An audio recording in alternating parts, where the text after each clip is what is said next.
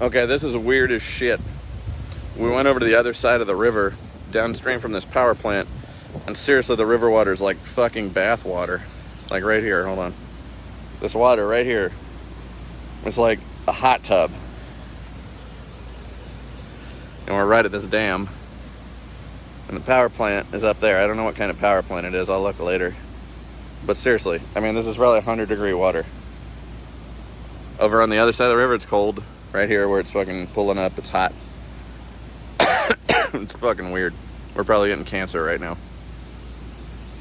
I don't even know.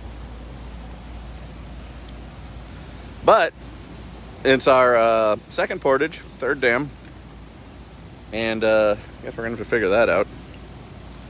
This is definitely the weirdest portage. I don't I don't think a lot of people come through here. I think we're in a not the canoe rental area. So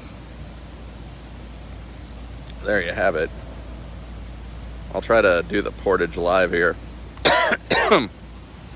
See what I can do to I don't know keep it on video or something.